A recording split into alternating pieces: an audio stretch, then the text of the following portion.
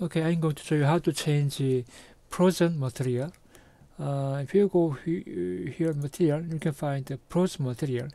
Uh, basically, uh, um, go enemies folder, open this, you can find uh, frozen materials here.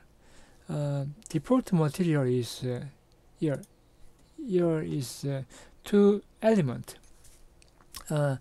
Uh, if you uh, when you frozen state uh, enemies uh, material will be replaced re replaced with uh, these two material.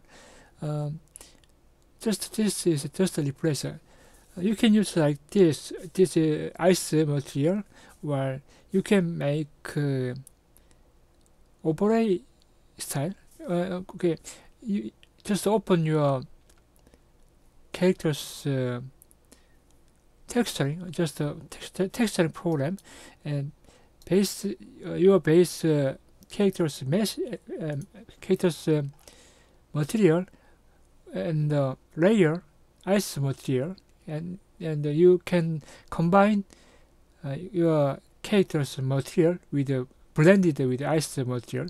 Then that uh, material place here, and then you can use you can you your um, frozen material will be used uh, be, uh, replaced with a blended material. Um, it's a little bit um, yeah. Okay you can use like that.